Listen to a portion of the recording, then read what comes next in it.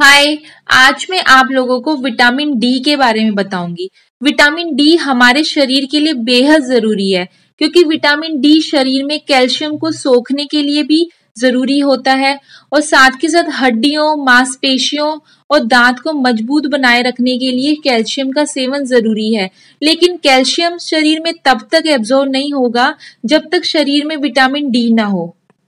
और आजकल के लाइफस्टाइल की वजह से विटामिन डी की जो प्रॉब्लम है, लोगों के अंदर पाई जाती है, क्योंकि लोगों को पता ही नहीं है कि विटामिन डी के क्या क्या सोर्सेज होते हैं और विटामिन डी आसानी से आपकी बॉडी के अंदर पूरा किया जा सकता है।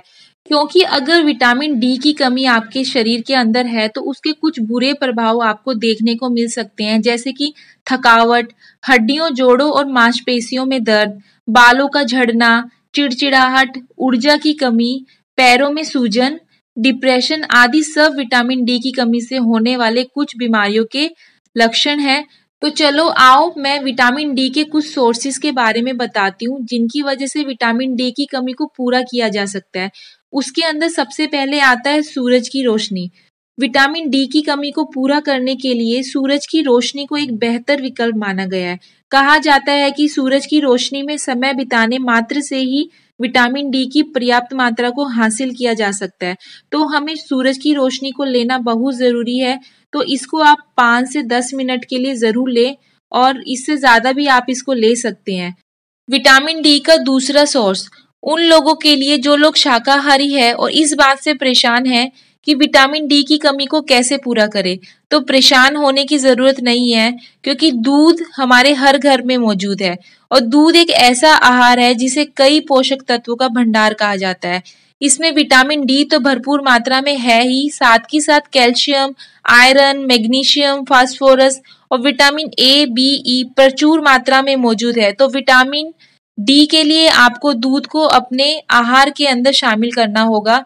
तीसरा सोर्स है ऑरेंज ऑरेंज में भी विटामिन डी प्रचुर मात्रा में पाया जाता है, इसलिए विटामिन डी से होने वाली समस्याओं को दूर करने के लिए फलों में संतरे का इस्तेमाल किया जाता है, ताकि विटामिन डी की कमी को दूर किया जा सके। इसके बाद आता है मशरूम मशरूम को भी विटामिन डी फूड्स में शामिल किया जाता है।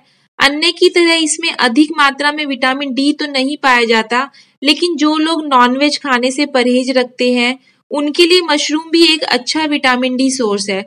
तो आप विटामिन डी के लिए मशरूम को भी अपने आहार के अंदर शामिल कर सकते हैं। इसके बाद आता है दही। जैसा कि आपको पहले ही बताया जा चुका है कि दूध में विटामिन डी अधिक मात्रा में पाया जाता है। वही दूध से बनने वाली दही में भी इसकी मात्रा पाया जाना ज़रूरी है। और खास बात यह है कि दूध के मुकाबले दही इस विटामिन डी की कमी को पूरा करने की अधिक क्षमता रखता है। तो दही को भी आपको अपने आहार के अंदर शामिल करना होगा विटामिन डी की कमी को पूरा करने के लिए। अगला सोर्स है मक्खन।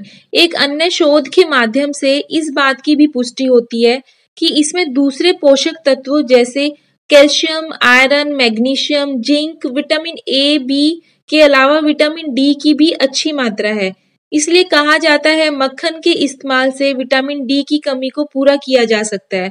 अगला सोर्स है चीज़ चीज़ के इस्तेमाल से भी विटामिन डी की कमी को पूरा किया जा सकता है, क्योंकि इसके अंदर भी विटामिन डी की अच्छी मात्रा पाई जाती है।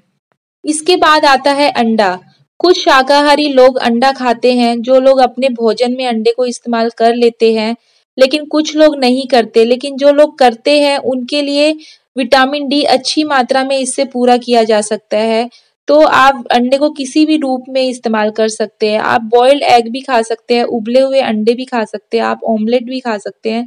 तो आप इसको भी अपने आहार में शामिल कर सकते हैं विटामिन डी की कमी को पूरा करने के लिए।